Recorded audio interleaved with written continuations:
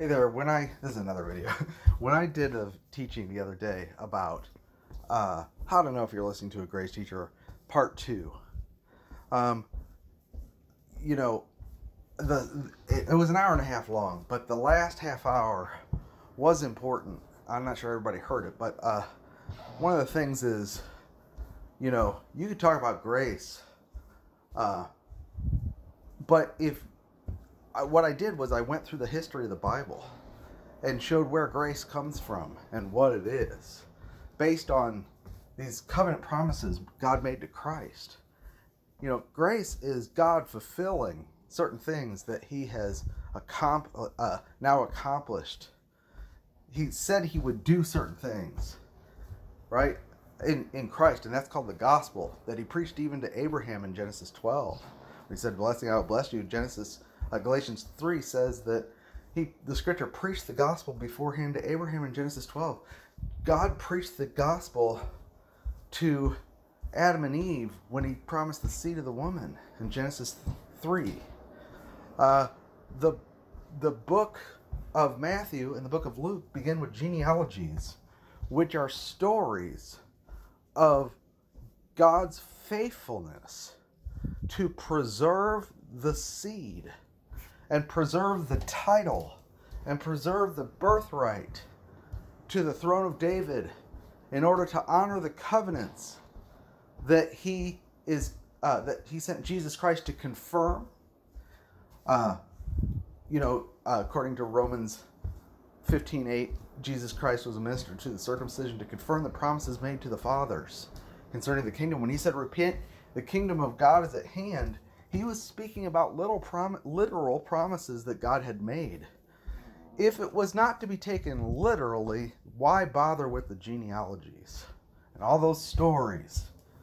You know, why have Luke's genealogy that traces Mary's blood, you know, the blood he received from Mary through the house of David back to Adam to show that he has the genetic line all the way, you know, the pure genealogy to Adam, uh, so that he can be the last Adam. Uh, and then show that from Joseph he actually inherited the title uh, to the throne of David from the house of David, you know, uh, from through Solomon's line, even though that line eventually was cursed through Jeconiah. I mean, if you know the story, that's why there that it's praise God Mary was from the house of David, because if she wasn't, uh, then he wouldn't have been able to be of the throne of David.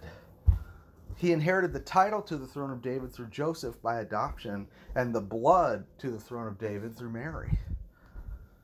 They both had to be of the house of David. The, the point I'm making is that all the, the genealogies represent all the intrigues and the devil's attacks on the line, and God's faithfulness preserve the line to literally fulfill the promise. And so the first hour is me speaking about grace comes from the literal fulfillment of God's promises and his faithfulness to his word. And then that last half hour, I spoke about the fact that if you're listening to a teacher who doesn't take the Bible literally, uh, and just says this is allegorical and that allegorical, even if they're contending for the gospel, eventually the foundation you're standing on isn't going to be very sure at all. Um, and yes, it's upsetting. It should be upsetting. It's it, it is damnable heresy and antichrist doctrine to teach that the promises that God made to Israel and the clear teaching of the word that he will bring them back into their land and fulfill the promises to them and graft them back in. Fall on the church and that it's all allegorical. And that what god literally means uh, when he says things is actually something different than what he literally said. Now of course there are poetic meanings but the Bible tells us when God is using uh, poetic meanings. When he's, you know, uh, I think it was either Petra or Nick C that did a good job of talking about, you know, we take it literally unless it tells us not to. Now, the book of Revelation, yes, it is signified, it's written in signs. But those signs are a roadmap to the Bible, not a roadmap to your freedom to interpret however you want and say, well, it's allegorical. John was in the spirit, which is basically like saying he was drunk. And so you can't take any of it literally. All that means is you don't believe the Bible. Uh, you haven't done your homework to go look up the significance of those signs. Every single one of those signs is an allusion to an Old Testament idiom. The whole thing is written in code. Uh, Chuck Missler always said that that it's what is it? 400 verses with 800 allusions, or is it 800 verses? No, it's 400 verses verses with 800 allusions to Old Testament um, prophecies. Every sign, every picture is an allusion to a major theme in Scripture. You know, when you see Jezebel, it's expected that you're going to go back to Kings and read about her character and what she did. When you see Balaam, uh, Balaam teaching Balak to cause uh, Israel to stumble, and he says, You've got this doctrine among you, it's expected that you're going to go back to Numbers and find out what that is. When you see the woman uh, clothed with the sun, standing on the moon, and the 12 stars, you're supposed to recognize that from Joseph's dream in Genesis and go read Israel's interpretation of the dream, Jacob's interpretation. The Bible interprets the Bible. It is not subject to private interpretation. Peter said, No scriptures of private interpretation. Holy men of old were moved uh, by the Holy Spirit. And you have a more sure word of prophecy, which you do well to heed. It's more sure than the eyewitness account of Peter and the apostles. They were on the mount when they see Christ uh, transfigured, right? When they saw Christ transfigured, he said, "We were we were not following cunningly devised fables. We were eyewitnesses. But you have a more sure word of prophecy, which you do well to heed, as a light that shines in the darkness until the day breaks and the morning star rises in your heart." We have a certain word, a more sure word. God puts His word above His name. You know, you, it, you can argue for the gospel all you want and talk about justification by faith and untwist scriptures all you want. But if you spit the word out uh, that those scriptures come from, then you are tearing at the foundation. if the foundation is destroyed, what can the righteous do? Now, this last week, I learned that, you know, a gr- prominent grace, someone who's they've been contending for the gospel, but also telling us that we need to not be dogmatic. Uh, and how much harm that's doing to evangelism and how much harm that's doing to the so called growth in the body of Christ.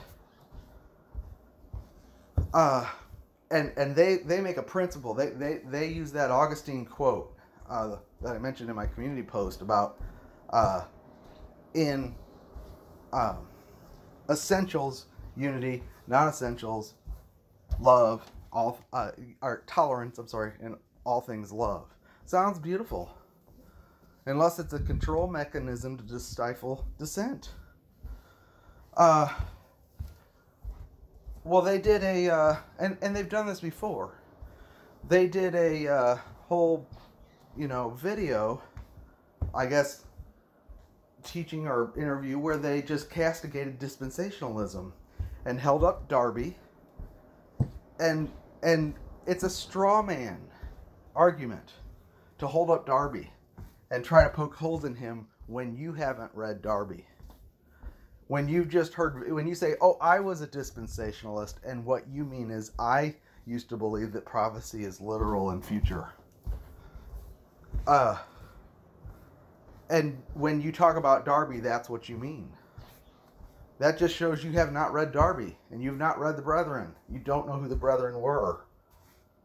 And I talk about that quite a bit on this channel, but dispensationalism is not prophecy charts and rapture geeks. It, that is a mischaracterization. It's a cartoon caricature that is fairly recent because what we have today is pop culture prophecy studies. And, you know, uh, most of the prophecy channels today, the only reason they know what the rapture is is because of the work that the brethren did. True. But they haven't read the brethren. And they're the ones that are talking about the rapture today are sensationalistic news pimps um, that are lordshippers and Calvinists. Well, dispensationalism, the, the point of dispensationalism was not to uh, preach about the rapture and preach about prophecy. That's not the point. The point of dispensationalism was to recognize that Paul had been given a dispensation of the grace of God for the Gentiles to reveal a mystery. I keep talking about this concerning Christ in you, the hope of glory, and that is the rule of the Christian life, and it's found in the epistles. And that Calvinism, uh, see, see, the brethren were raised up by God to contend with Calvinism of the day, which was the lordship of the day. It's the most pernicious, evil cult in the history of Christianity besides Catholicism, be, because it, it, it's actually it's worse than Catholicism because it pretends to be Protestant, and is so masterful at cloaking itself in the language of grace that most people believe that Calvinists believe justification by grace through faith. Uh, when actually they've redefined what justification is, they've redefined what faith is, and it's a backloaded works gospel through and through. It's law through and through. Um, the the brethren were raised up to contend with Calvinism because what they saw was that Calvinism, by confusing the church with Israel, put the church under Israel's law and thought that the synoptic gospels uh, was also the rule of life for the christian and and used the sermon on the mount to terrify people which is just the law of moses. The sermon on the mount is the law of moses. Uh, it's based on the ninth commandment thou shalt not covet. And so it deals with the heart. Even if you have lust in your heart you've committed adultery. If you hate in your heart you've committed murder. It's not what you do outwardly, it's what you think before you've even had a chance to repent of it. it's what automatically comes out of the heart. It's your your flesh is ruined. God had to crucify you, and that is the revelation we receive from Paul. The dispensation of the grace of God is that we are baptized into the death of Christ and made one with him and raised together with him to be part of a new species called the body of Christ heavenly. We are heavenly. And there's a dispensation of truth for us. That's what dispensationalism is. Dispensationalism is not prophecy charts and rapture teachings and uh, speculation about when the Antichrist is coming. However, as a side product, because the brethren were faithful, what they, what they saw was that the scriptures are literal not allegorical. Because the Reformation had gone as far as recovering justification by faith, but had not recovered the literal uh, promises of God. And so is they were still like Luther was virulently anti-Semitic. He still believed, you know, the state church should. He believed in a state church for one, and he still persecuted the Jewish people. The Protestants were persecuting people because they didn't see the distinction between spiritual and carnal because in their mind they were the Israel of God, the covenant people. They still have an earthly view of the kingdom because they believe that the church is the kingdom. They're dominionist. So the kingdom's in our heart, therefore we are the representation of the kingdom, therefore our godliness should be expressed as we take over the earth. That's what dominionism is. It's the logical extension of the kingdom is in our heart, And if it's ever going to get established around here, then we need to make just laws that are godly. And that's where you get Salem witch trials and people being burned at the stake for heresy. Uh, you get a marriage of the church and the state. And Luther started the church state in Germany. Uh, the ch- state church, sorry. The German, you know, uh, state church. But uh, this was all because of allegorization. And the brethren were English brethren were descendants of the Moravian brethren who had gotten together at Count Zinzendorf's island because they'd fled from all the persecution of the Roman Catholics and the Protestants. Uh, the, the, it was a mess out there. And they got together, and that was the beginning of the Great Awakening. 90% of them sold themselves into slavery. Uh, I'm sorry, no, 90% of them became missionaries, and many of them sold themselves into slavery to preach the gospel. That was the first time anything like that had happened since like the days of St. Patrick and the early church, you know, third century, first, third and fourth and fifth century. Uh, and they call that the Great Awakening because it was the beginning of modern evangelism. This idea that the gospel's better than anything. You know, I'm willing to, I'm, I, am i am giving up this world for my heavenly calling. Uh, and that was the beginning of the Church of Philadelphia. Most people have that view, you know, that um, Christ opened a door for the gospel, and there was so much light pouring out of the Word for these people, and they met together according to 1 Corinthians 14. When you come together, each one has. One has a psalm, one has a. They they rejected the clergy laity system, the Nicolaitans, uh, where one man speaks and you have a professional clergy. They believed every member of the body should function. And because of that, they had a powerful move of God. And eventually that expressed itself in some of the best, most powerful teaching on grace in the history of the church, which is the Plymouth Brethren. Um, and you're dealing with Darby and C.H. Mackintosh and uh, people from that time, uh, from that group and and a lot of people have said you have not improved on their teaching on grace because it is a recovery of Paul's ministry in full with an emphasis on the fact that the promises to Israel are yet to be fulfilled. They don't fall on the church. Our rule of life is not Moses. See, the justification by faith under Luther was a mix because even though they knew that justification was by faith, because they thought the church was Israel, they went back to the law for a rule of life, thinking that Moses is how we live. They really couldn't separate the church out from under the law. And so they lived under a mixture of law and grace. To where Scofield, a dispensationalist, said, you know, in 1850s, that the church was under a was thoroughly the Protestant church was thoroughly Galatianized Galatianized, they lived under a mixture, incoherent mix of law and grace. The law was not given its proper function as a ministry of condemnation and death, but we were taught that we must keep it, and by the Holy Spirit's help, we, we, we may.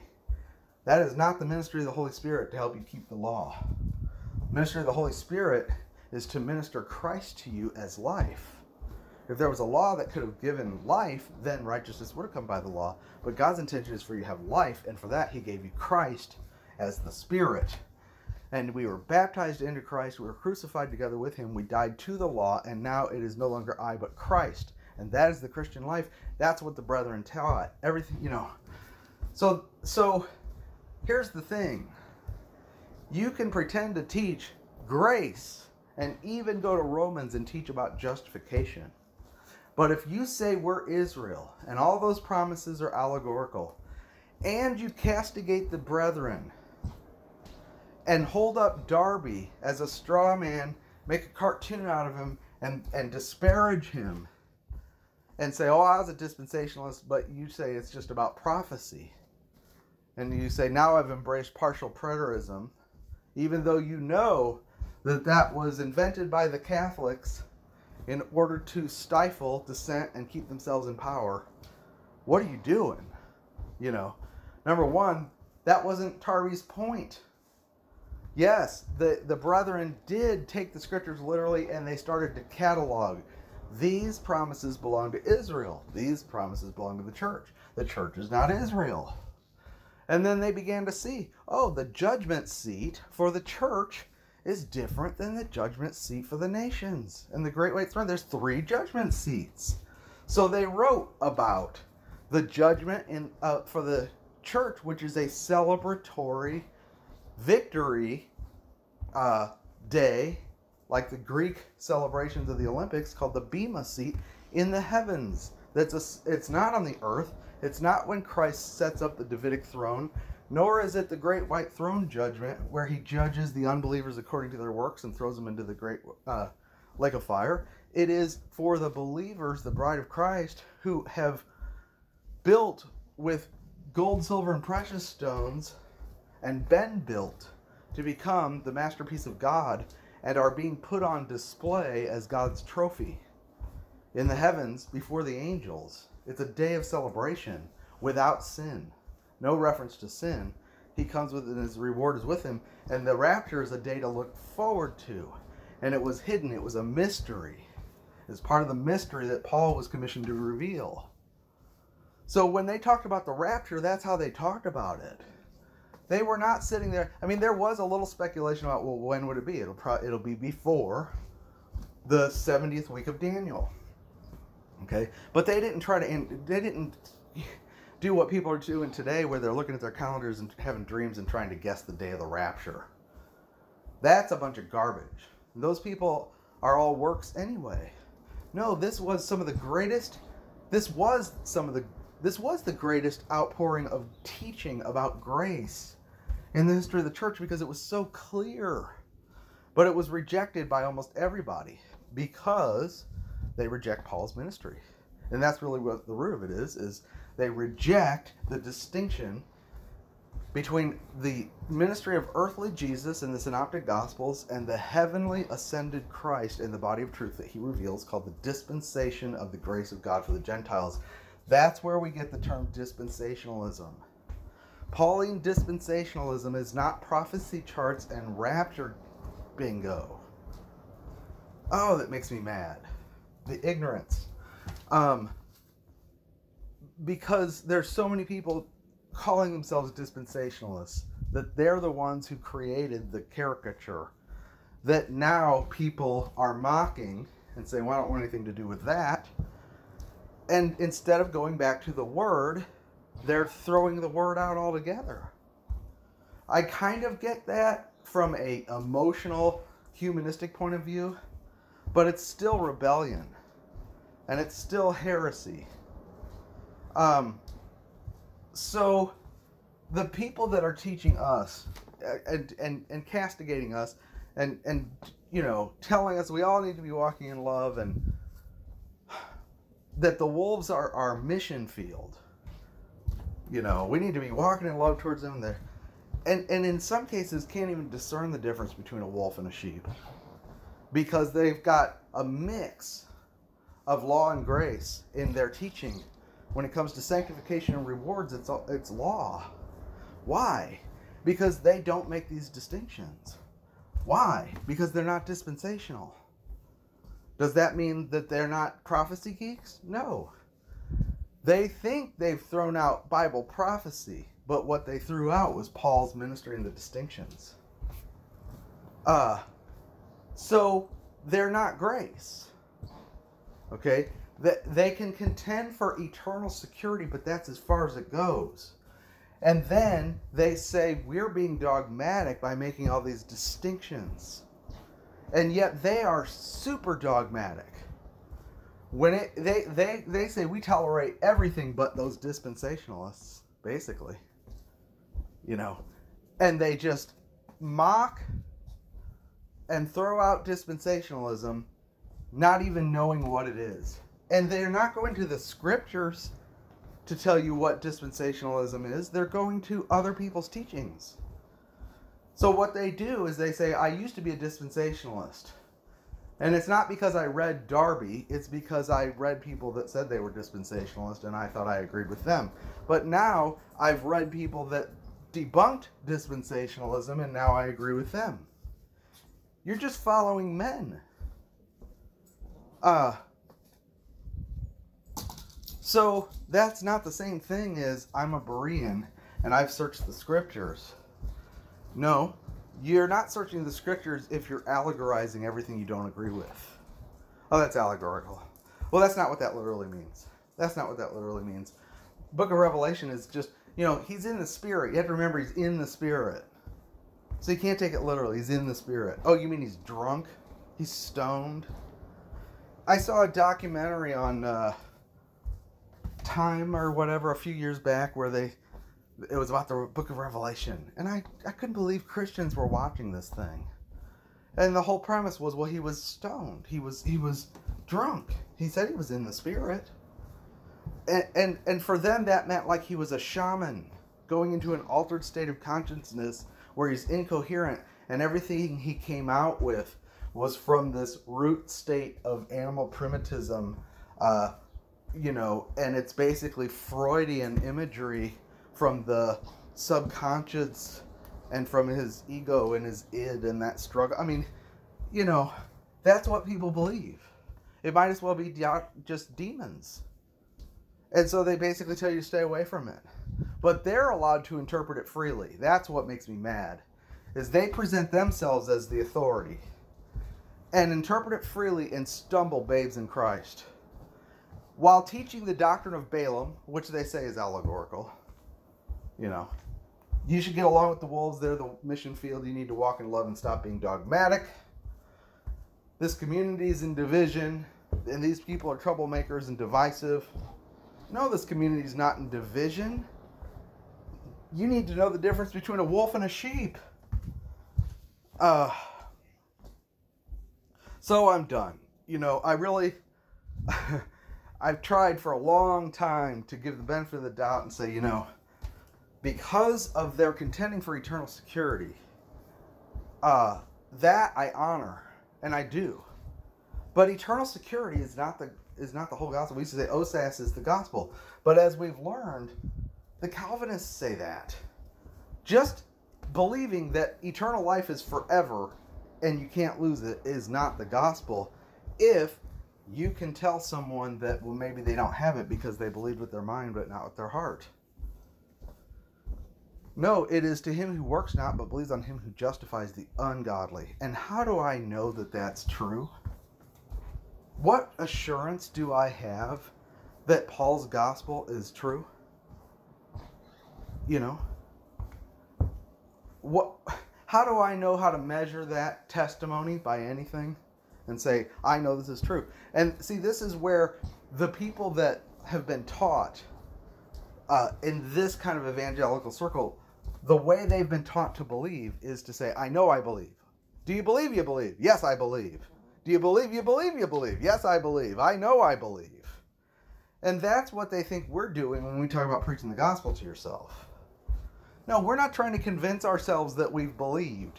We are enjoying our inheritance and building ourselves up in our most holy faith based on what we've already believed. They're trying to convince themselves that they've believed in an absence of actually believing the word. So it's not based on believing the word is literal. It's based on convincing themselves that they believe and marching around going, I know I believed. I know. Did you believe you believe? Yeah, I do. I believed. You know, that's actually what they do to in their evangelical altar call and training of eternal security. How do you know that you believe the gospel? Well, I know I believed it. Do you really believe? Yeah, I believed it. And they repeat that. Don't let the devil tell you didn't believe. No, I believed. Okay? It's not based on your your ability to convince yourself you believed. We need to behold the power of the word and be transformed and, and just be in awe at the precision of the word. And yes, it's by the Holy Spirit, but you know, the great the, when I got saved, I, am very thankful. The two I was taught, uh, I had that book by Walvoord and Chafer, Major Bible Themes, and I also heard Chuck Missler. And Chuck Missler, now he didn't get too much into the doctrine of Christ, unfortunately, But one gift he had was to show you the integrity of the scriptures. That God supernaturally designed he you know he was famous for saying here we have a message system that was designed from outside the time domain 66 books over written over thousands of years by more than 40 authors in three different languages. And yet as we examine it the more we get into it the more we see that every detail is supernaturally placed and supernaturally designed from outside the time domain. And Jesus Christ is on every page. And he could show you and it was he could show you all the types. A lot of the, actually he was very christ focused when it came to this aspect of his ministry. He could go through genesis he could go through ruth he could go through the books of the bible and show you christ on every page. He could go through the story of abraham isaac and jacob and rachel and and the nameless servant and show you here's the father here's the son here's a type of christ in his death and resurrection. Here's a type of Christ sending the servant Eliezer, whose name means comforter, to go get a bride for Isaac while he waited at his father's house uh, after his death and resurrection, after the offering. I mean, he was so good at that that you just would praise God at how the word from the beginning to the end shows the whole story in every type, every figure, every detail and you can take God at His word. He puts His word above His name. Uh, you can believe it.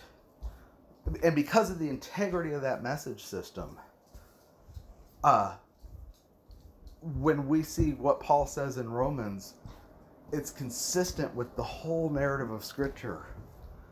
And again, I know that Jesus, you know, when Jesus rose from the dead, what did he do? He didn't just show up and say, See, now you see me. You know I'm raised from the dead. Do you believe you believe? Do you really believe? No.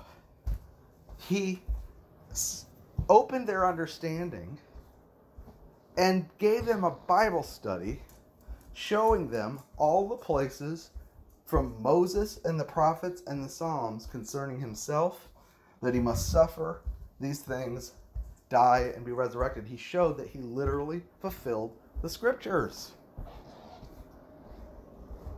Uh, uh it's just allegorical. You know? That he anchors their belief of the disciples not in a physical event, but in the word, the more sure word of prophecy, which Peter says, we were didn't follow cunningly devised fables and myths, we saw him transfigured, but you have a more sure word of prophecy. We don't follow men, we follow the word of God. That's our authority. And when you allegorize the word and scoff at it like that, and then make up whatever interpretation you want. Oh, I think the mark of the beast has been here all along, and the hand means this, and the forehead means that, and this is that, and the, it's all private interpretations. No, the, the, there's somebody called the idol shepherd in Zechariah 11 7. And there is a real false prophet who is really going to make an image. He's going to have the whole world make an image to the beast that can move and speak. And they're going to have to worship it. He's going to call fire down from heaven in the sight of everybody. Uh, they're not going to be able to buy or sell without the image of the beast.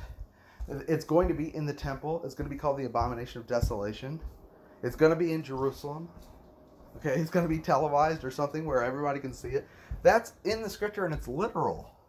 Yes, there were types and foreshadows, Antiochus Epiphanes and Titus Vespasian, but it has yet to literally be fulfilled. It's still future. John wrote Revelation uh, not about 70 AD. Okay? If you think, you know, oh my gosh, And you say, well, it's secondary. We can agree to disagree. And up until a little while ago, I would have agreed with that because I I agree. It's you can be saved and agree to disagree. But if you're just using that to give yourself the license to be dogmatic and overthrow people's faith in the word and teach uh, and, and, and to misrepresent Darby, who you've not even read, uh, and take away. You know, what, the, the thing I like about Chuck Missler, what I'm saying is everything he was quoting was brethren truth. I didn't know that at the time. I thought, oh, wow, Chuck Missler, man, he's really. No. The, it was the brethren that opened all those types because they understood two principles. The law of first mention and expositional constancy that when god first brings up a term it's typically the way he defines it throughout the scripture and you will find that throughout the entire message system he uses it the same way. And that it was based on that principle that we got the strong's concordance. Why have a dictionary that shows you everywhere in the bible that a greek word appears or a hebrew word appears because of the law of expositional constancy to keep you from privately interpreting things the way you want to interpret them because God uses symbols consistently all the way through. Gold is always something specific. Silver is always some pointing to something specific. You know, the lampstands are always pointing to something specific. And Revelation is full of specific signs that point to things that are consistently interpreted through the scripture, not left to your imagination. Um, so, yes, it's secondary. You can say Israel is the church until you start teaching that sanctification is by law and that Moses or the Synoptic Gospels is the rule of life. If you use your secondary uh, allegorization, you know, your secondary view, which means we we can have a different view about it and agree to disagree, to deny the doctrine we've received from heaven and the dispensational distinction, the dispensation of the grace of God that was given to Paul, and twist what he's saying to say that we've been grafted into Israel and that the church is Israel and that there is no literal kingdom. And you, you do wordplay and you say, well, I believe that there's a kingdom, but really it's all at the end. You know, uh, there is no kingdom. There's no literal millennium. There's no literal uh, it's just we're going to go to heaven. Okay, that is wordplay.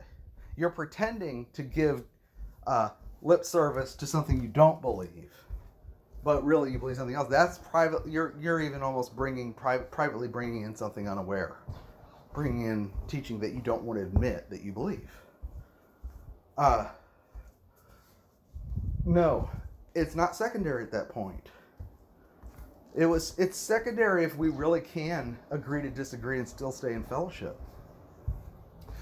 But if you say we're not allowed to be dogmatic, we're nitpicking, we're not walking in love because we're making the distinction. And then you do teaching where you mock what we teach, right? And and throw it out and even misrepresent it. And misrepresent Darby and uh, really slander him usually is what they do. They end up slandering Darby, call him a Calvinist and stuff like that. I've heard some of these things before.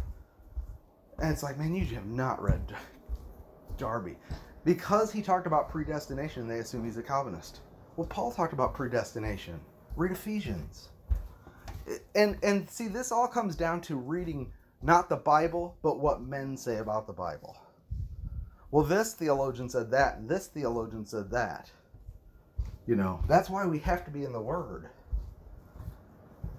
Uh, because what they do is they say Darby was a Calvinist because he talked about predestination, but he was raised up to fight Calvinism. and that just shows that you don't know what Calvinism is. Because Calvinism is not the predestination is not in the tulip. It's not one of the it's not the pea in the tulip and that's another thing. It's a mis. It's a it's a straw man about what Calvinism is. Everybody thinks Calvinism is a is an argument between free will and fate or predestination and free will. No, it's not. That's a straw man. Calvinism is about how is someone saved and how can they know they're saved? Is the gospel the evidence that I'm saved or do I have to be one of the elect? How do I know I'm one of the elect? Well, they say it's by fruit bearing by the new heart that God created in you before you could even be regenerated. And He had to choose you to do that. And you'll never know if that was you just by believing the gospel. You have to bear the fruit. That's this that's the sum of it. And God only saved a certain number of people called the elect. We're also totally depraved that none of us could even believe. So he had to give us a new heart for the new covenant in order to enable us to believe. So he had to regenerate us before we believed. Okay? That's total depravity. The T. Um, Greg goes into that stuff a lot better. Limited atonement. Christ only died for the elect. That's a lie. Uh, irresistible grace. You cannot harden yourself against the grace of God. If you do, it's because God hardened you. And if you sin, it's because God made you do it. That's sick. And then the perseverance of the saints. You can't know by believing the gospel if you're saved. You have to bear the fruit. Uh, you may have head faith, but not heart faith. That's Calvinism. Calvinism is not about predestination. And so, a lot of times when I teach through Ephesians and I talk about predestination from Paul's point of view, which is about the inheritance that God has set aside for his children, people accuse me of being a Calvinist. Why? Because they've read theologians arguing about other theologians and they haven't read the Bible. Well, you're definitely not going to read the Bible if you think it's a bunch of allegory and you hold it on the same level as human tradition. And that's what people who allegorize the Bible do. They hold it at the level of human tradition. And they talk more about human tradition than they do about the Bible. And they have long podcasts or whatever about this church theologian and that. I used to be, I used to agree with this guy, but now I agree with that guy. And they adopt terms. I used to be a dispensationalist, now I'm a partial preterist. Well, those terms are not in the Bible. and when I say dispensationalism, I'm not talking about the prophecy geeks and the rapture charts. Although that does come out of it because they did eventually say, okay, these scriptures belong to Israel and are promises for their kingdom, and these belong to the church uh, and designate our heavenly position in Christ. And our rule of life really does come from the epistles, and this is how we live. We've been crucified with Christ. We're not dipping low into the Sermon on the Mount to try to figure out what's pleasing to God. Christ is the righteousness that exceeds the law uh, and the Pharisees, and now He is our righteousness. And it's upon him who works not, but believes on him who justifies the ungodly. And now God is righteous. It's not our righteousness, it's God who is just in justifying us and giving us life, which is Christ Himself. And the righteousness of the law being fulfilled in me is that God is righteous in being able to dispense life into me and even give me the sense of blessing and sonship and fellowship and joy, even though I'm a sinner. And I don't need to do anything about my sin in order to have that joy. All I have to do is believe the gospel and mind the things of the Spirit. And as I do, and I come forward boldly through the blood by faith, I'm washed. So I get the benefit as if I had repented of sin. And as if I had turned from sin or whatever you tell me to do under law. Because I get Christ who washes me and fills me with joy and peace. And it's a free gift. It's never by me working or striving, it's always by me just believing. We get that from the epistles. You can't get that from the synoptic gospels or the law of Moses. Um, is it all the speaking of Christ? Yes, but his revelation is progressive, and there's a dispensation of the grace of God revealed through Paul called the mystery of Christ, Christ in you, the hope of glory. And that's what dispensationalism is. So I would recommend not listening to anyone who allegorizes the Bible and then tries to tell you what dispensationalism is and why they're not a dispensationalism dispensationalist. They cannot if they allegorize the Bible, then they can't teach you from the Bible why they're not a dispensationalist. Nor can they define dispensationalism.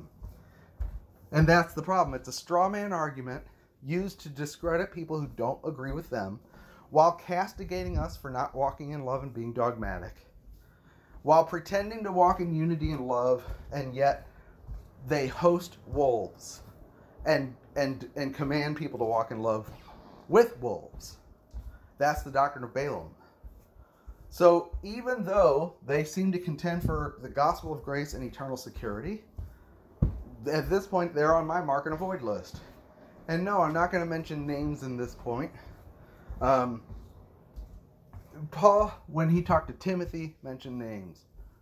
when he talked to the church at large, he said, just watch the people do this. I don't have to. See, a lot of these people will get offended anyway. And they'll come out and identify themselves.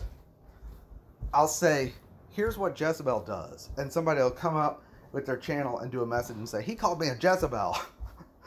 well, if the shoe fits, you know, if that's the way you're going to act and you, you think I'm describing you because that's how you operate, then you just identified yourself. I didn't have to identify you. All I did was tell my subs, here's how Jezebel operates. And then you said, he attacked me. Okay, well, that's what's going on. If, if people are smart, they'll be quiet. And not only that, but they'll repent. See, this is another reason we don't want to say names if possible, because it gives people a chance to repent. They say, you know what? I'm going to rethink my position. What I'm doing is wrong. I'm, I'm castigating everybody for being dogmatic, but I'm being dogmatic. I'm saying they need to walk in love about secondary issues, but I'm drawing a hard line about dispensationalism. I'm slandering Darby and mischaracterizing dispensationalism to thousands of people, which is opening the door for attacks against present teaching and ministry uh, that are going on. It, it's opening the door and giving people fuel, wolves and witches, fuel to attack people who are genuinely contending for grace. And if you have a conscience and you are supposedly genuinely contending for grace, the Lord's going to deal with you. And and some of these people are genuine sheep who the Lord has used in the past and just need a wake-up call. And so sometimes they need to be marked and avoided so that they can deal with the Lord. You know, I can't tell you what to do. You do what you do. But I can describe what I'm going to do and I'm going to tell my subs this don't listen to this kind of stuff. All right, take care.